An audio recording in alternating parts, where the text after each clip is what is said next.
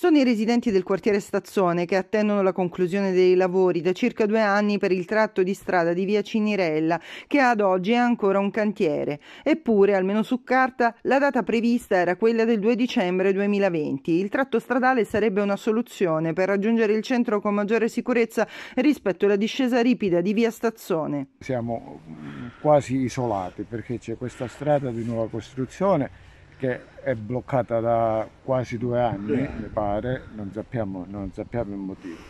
Poi la via stazione praticamente è abbandonata a se stessa, quando ci sono piogge abbondanti eccetera, e ci sono fanghi a sul bordo della, della, strada che non vengono pulite, che si depositano. Nel quartiere abitato da molte famiglie la nuova strada completa di illuminazione e trasporto pubblico sarebbe tra le priorità per i residenti, come spiega il presidente del comitato di quartiere che da sempre segue la vicenda e che pare essere bloccata per un passaggio burocratico. Noi abbiamo chiesto spiegazioni del perché la strada non viene proseguita.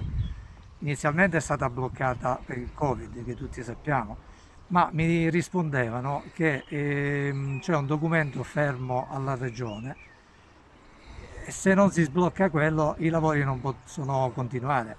Mi hanno anche assicurato che mh, mm, una volta firmato nel giro di mh, mm, orientativamente un mesetto potrebbero asfaltare, poi si aspetterebbe solo il collaudo e permetterebbe il transito delle auto. Intanto arrivano le rassicurazioni dell'assessore ai lavori pubblici Marcello Frangiamone che dichiara il problema del quartiere Stazione è seguito con attenzione dall'amministrazione comunale. Sono già avvenute una serie di interlocuzioni a seguito delle quali si è deciso di organizzare immediatamente un incontro dove sarà convocato anche l'IACP che, spiega ancora l'assessore, è l'ente che ha realizzato gli immobili e le parti comuni tra le strade. Sono certo, dice, che insieme a Sua Eccellenza il Prefetto troveremo una soluzione soluzione.